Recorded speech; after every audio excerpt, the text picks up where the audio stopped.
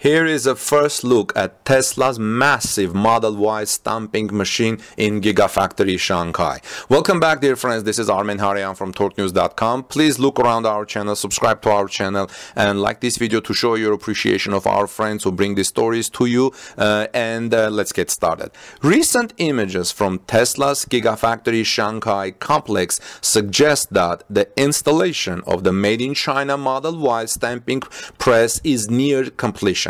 The photos bode really well for the progress of the Shanghai-based factory as it suggests that the trial production runs of the Model Y could indeed begin sooner than expected, perhaps as early as the end of this year. Yesterday, I had another report about Giga Shanghai, and I said that it looks everything points to a possible early start of the production of Giga Shanghai's Model Y, uh, not next year, which is planned, but maybe as early as this year. This is going to be a phenomenal year for Tesla, friends, because things are going also very fast at Giga Berlin, and earlier suggestions also said that that Giga Berlin may be open to some type of business by the end of this year.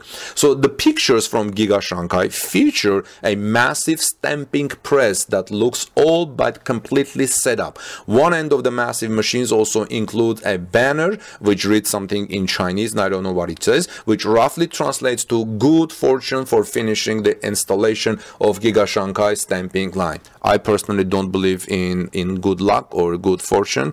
And um, so, but that's what it reads. Based on the company's quarter 4 2019 update letter, the stamping area in Gigafactory Shanghai is located at the tail end of the phase 1 building where the Model 3 is being built.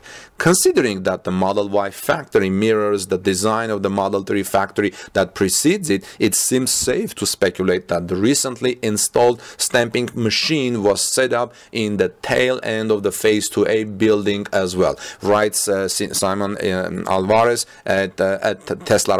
This would, he continues, this would be quite an interesting setup, seeing as the Model 3 factory and the Model Y factory appear to be inked together through their stamping areas. Recent drone flyovers have shown that this may be the case since a sky bridge now seems to be visible between the phase 1 and phase 2A building.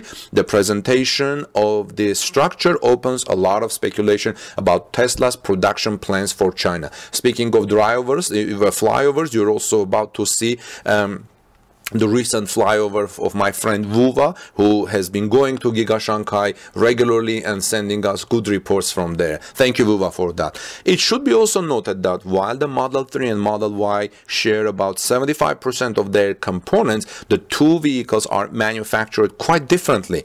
An extensive teardown of an early production Model 3 and Model Y from noted auto veteran Sandy Munro provide, proved that with the analysis showing that the all-electric crossover has far more manufacturing efficiencies than its sedan sibling.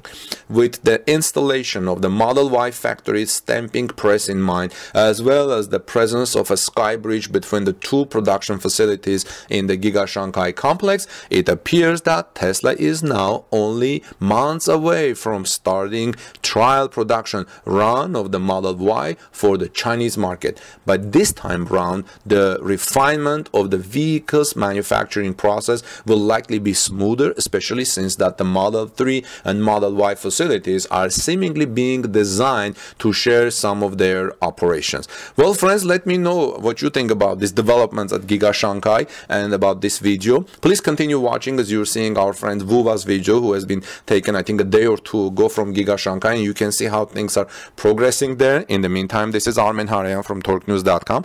Please subscribe to our channel after looking around our channel. If you like it, join our community. Please also like this video to show your appreciation of Vuva's work and uh, Simon's work from which I've quoted. And um, have a wonderful day. God bless you. Take good care of each other. And I would greatly appreciate if you would please share our videos on your social media channels. That helps us tremendously. God bless you and take good care of each other. See you soon in our next video later today.